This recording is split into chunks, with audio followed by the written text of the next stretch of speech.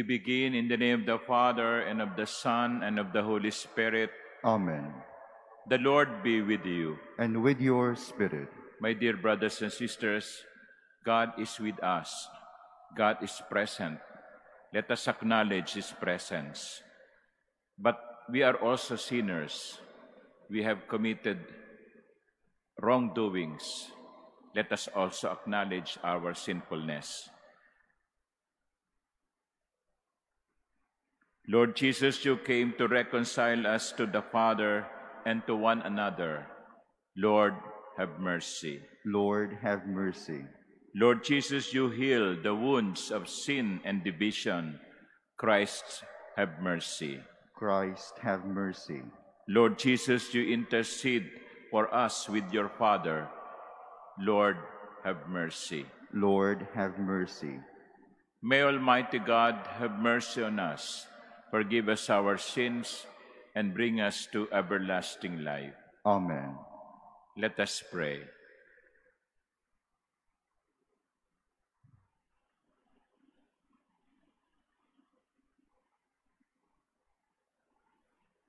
O God, by whose grace, though sinners, we are made just, and though pitiable, made blessed. Stand, we pray, by your works. Stand by your gifts, that those justified by faith may not lack the courage of perseverance. Through our Lord Jesus Christ, your Son, who lives and reigns with you in the unity of the Holy Spirit, God, forever and ever. Amen. Please be seated.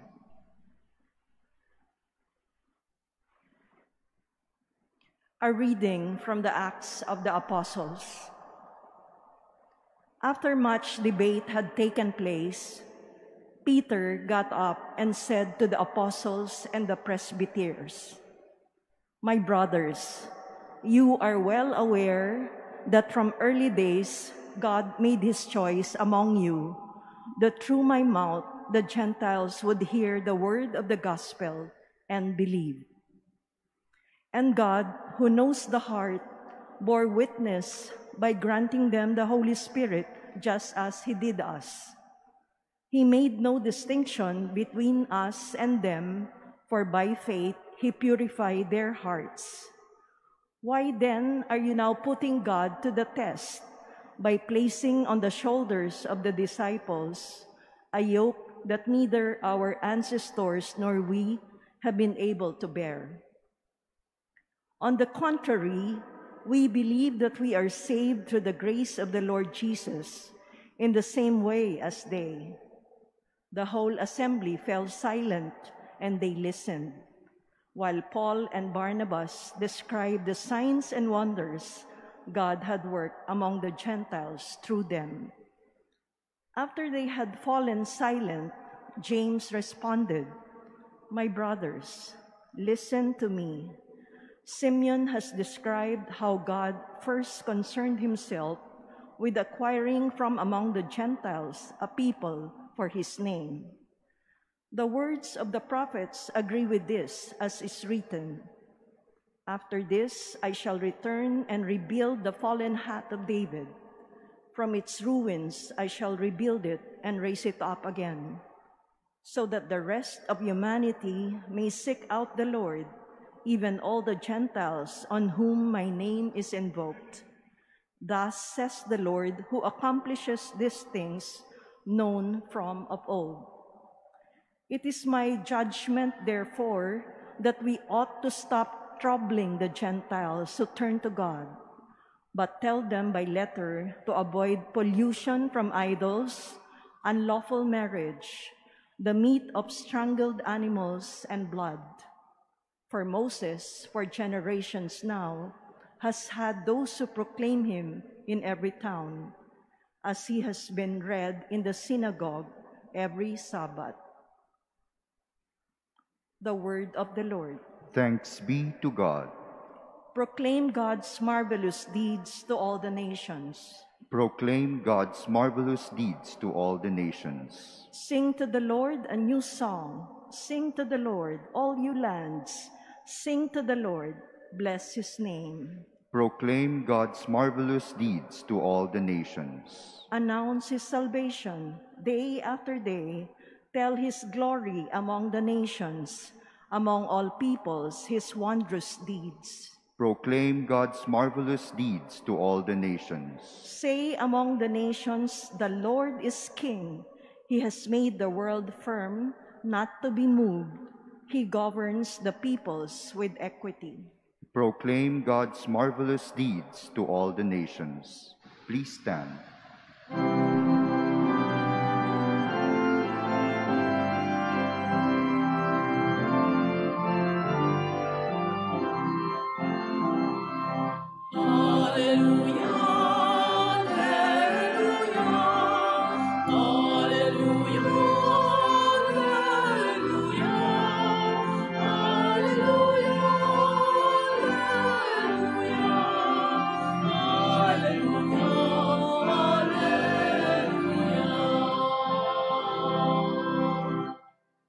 My sheep hear my voice, says the Lord.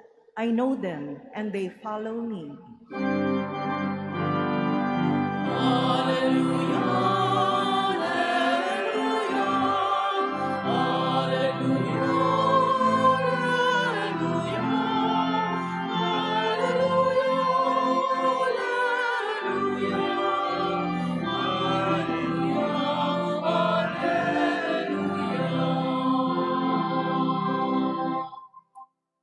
The Lord be with you. And with your spirit, A reading from the Holy Gospel according to John.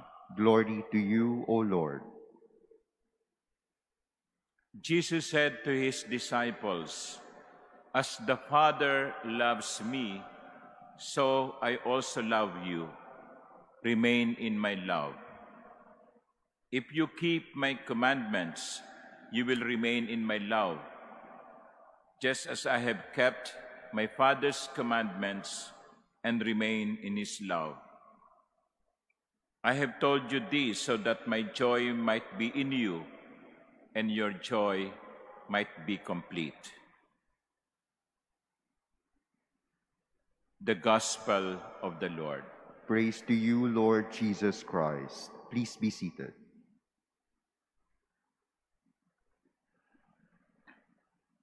Keep my commandments, just as I have kept my Father's commandments. My dear brothers and sisters, in this simple sentence, the Lord is telling us to do what God wants us to do, meaning to keep His commandments, to, ab- to abide by His laws, just as the Lord has been keeping the commandments. In other words, the Lord is telling us to do something that He Himself has been doing.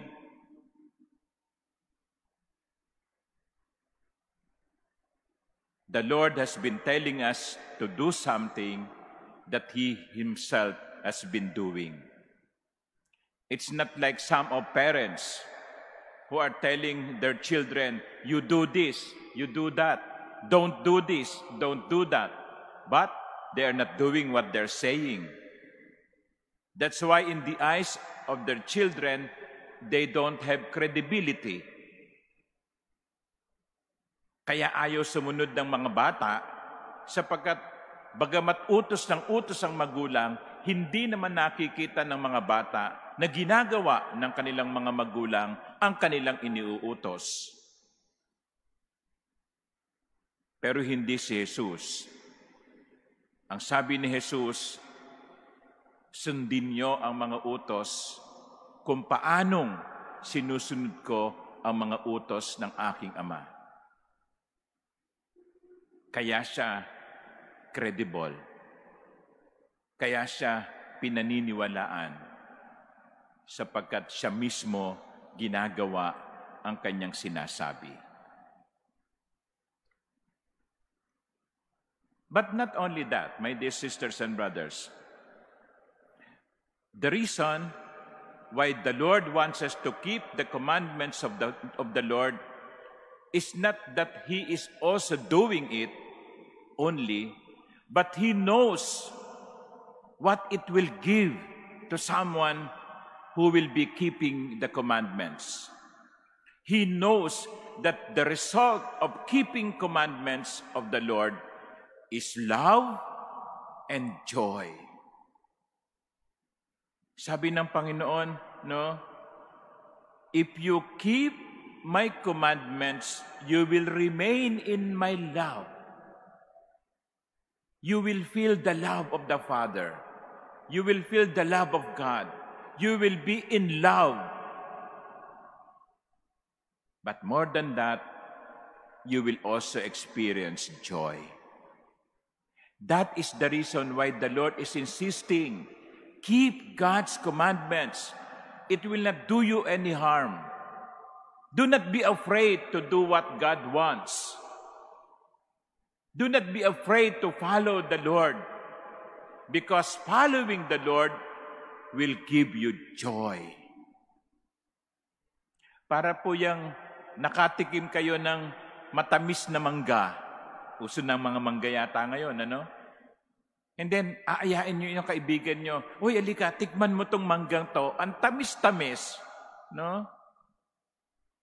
Ganun ang gustong sabihin ng Panginoon. Halika, gawin mo yung, yung kalooban ng Panginoon. Tikman mo ang tamis-tamis. Ang sarap-sarap.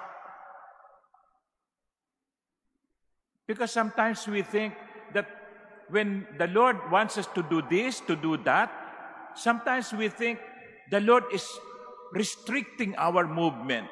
Parang gusto lang naman tayong kontrolin ng Panginoon eh. Para lang gusto niya na tayo ay masakal. No. Hindi po. Kaya gusto ng Panginoon na sundin natin ang kalooban ng Diyos ay sapagkat alam niyang ang sarap ng ibubunga nito sa atin. Imagine, imagine what the world will be if each and every one of us will abide by God's commandments. Isipin nyo, napakasaya ng mundo, napakasaya ng bansa, napakasaya ng mga pamilya, napakasaya ng simbahan kung ang bawat isang bumubuo nito ay sumusunod sa utos ng Diyos. Hindi tayo sinasakal ng Diyos sa pamamagitan ng kanyang mga utos. Gusto niyang maranasan natin ang tamis ng buhay. Gusto niyang maranasan natin ang sarap ng buhay. I have told you this so that my joy might be in you and your joy might be complete. My dear sisters and brothers, if we want to experience the love and joy that come from the Lord, keep His commandments. Amen.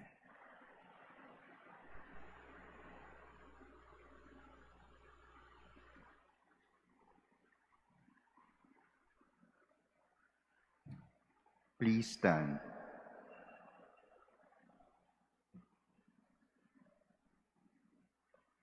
Christ says, If you remain in me and my words remain in you, you may ask what you will, and you shall get it.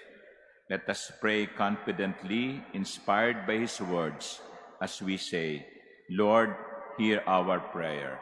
Lord, hear our prayer. that our church may become a true community, producing fruits of love and peace. Let us pray to the Lord. Lord, hear our prayer. That unbelievers may encounter God in the love of Christians. Let us pray to the Lord. Lord, hear our prayer. That married couples may be faithful in their love for each other and so bear witness to their Christian faith. Let us pray to the Lord. Lord, hear our prayer. that the sick may be steadfast in their faith and remain united with Jesus even in suffering. Let us pray to the Lord. Lord, hear our prayer. That those who have departed from this life may rejoice forever in God's heavenly home. Let us pray to the Lord. Lord, Lord, hear, hear our, our prayer. In silence, let, let us lift up to the Father our personal intentions.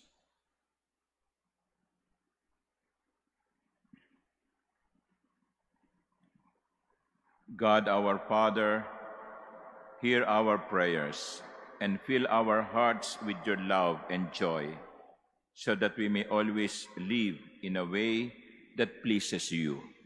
We ask this through Christ our Lord. Amen. Please be seated.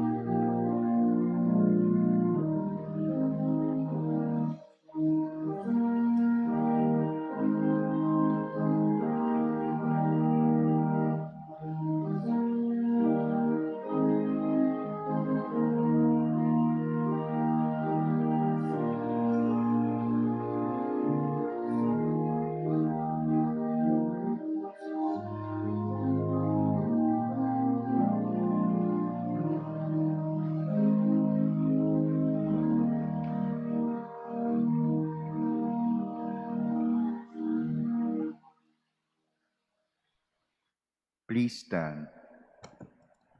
Pray, my dear sisters and brothers, that my sacrifice and yours may be acceptable to God, our loving Father. May the Lord accept the sacrifice at your hands for the praise and glory of his name, for our good and the good of all his holy church.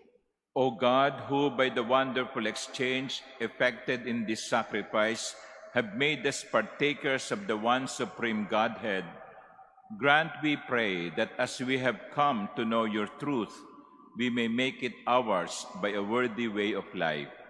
Through Christ our Lord. Amen. The Lord be with you. And with your spirit, Lift up your hearts. we lift them up to the Lord. Let us give thanks to the Lord our God. It is right and just. It is truly right and just, our duty and our salvation, at all times to acclaim you, O God. But in this time above all, to laud you yet more gloriously, when Christ our Passover has been sacrificed. By the oblation of his body, he brought the sacrifices of old to fulfillment in the reality of the cross, and by commending himself to you for our salvation, showed himself the priest, the altar, and the lamb of sacrifice. Therefore, overcome with paschal joy, every land, every people exalts in your praise, and even the heavenly powers with the angelic hosts sing together the unending hymn of your glory as they acclaim. Holy, holy, holy Lord God of hosts, heaven and earth are full of your glory. Hosanna in the highest. Blessed is he who comes in the name of the Lord. Hosanna in the highest. Please kneel.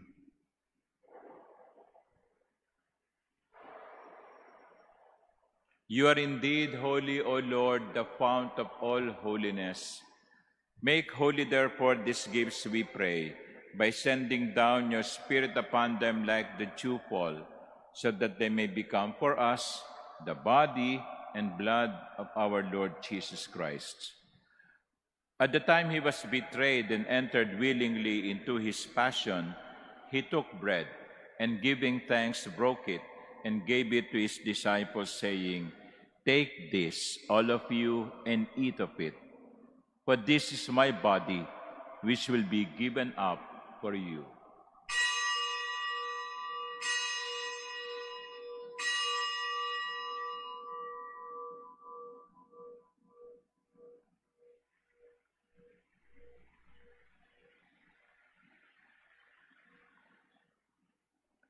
In a similar way, when supper was ended, he took the chalice, and once more giving thanks, he gave it to his disciples, saying, Take this, all of you, and drink from it.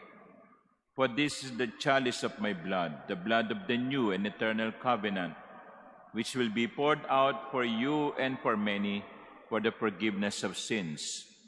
Do this in memory of me.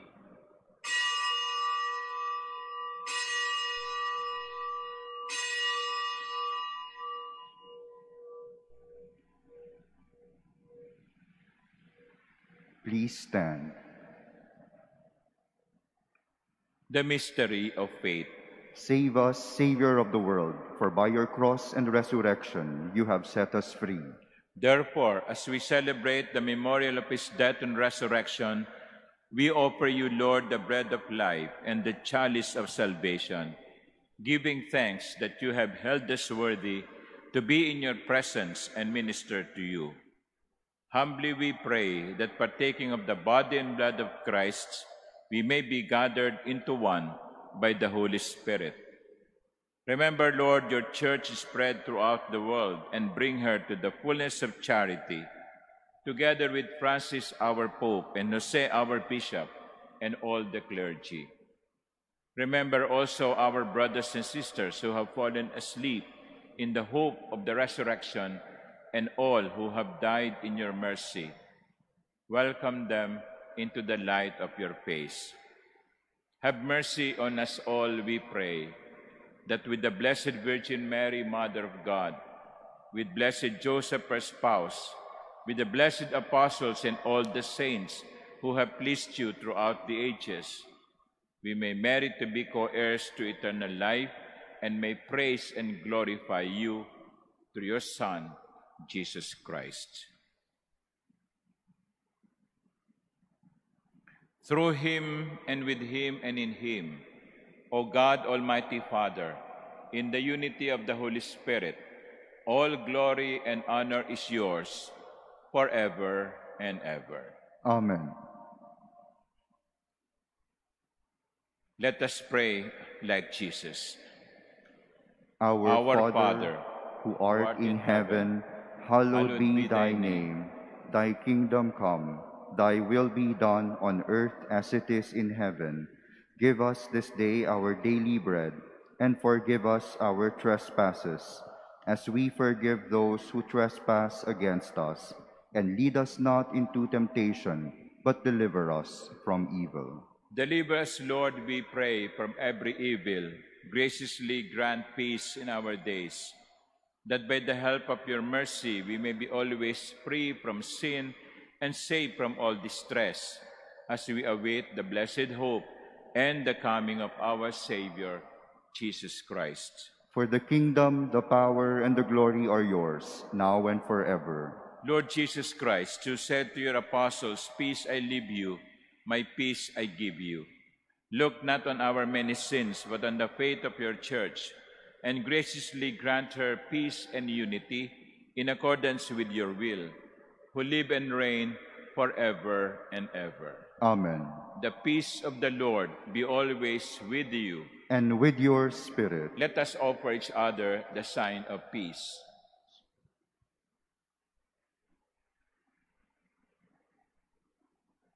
Lamb of Lamb God, of God, you take away the sins of the world, have mercy on us. Lamb of God, you take away the sins of the world, have mercy on us. Lamb of God, you take away the sins of the world, grant us peace. Please kneel.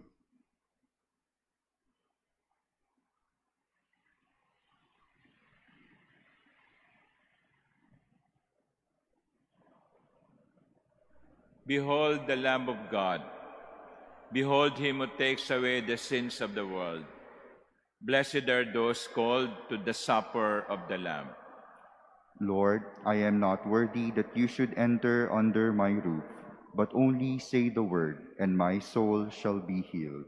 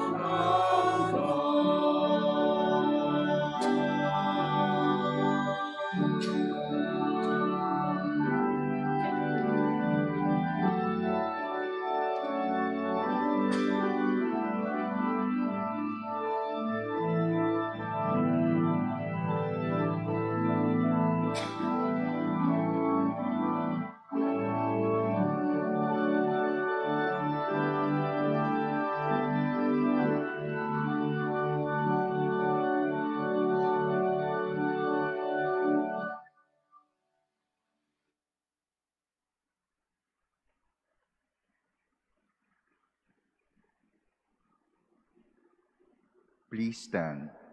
Let us pray. Graciously be present to your people, we pray, O Lord, and lead those you have imbued with heavenly mysteries to pass from former ways to newness of life. Through Christ our Lord. Amen.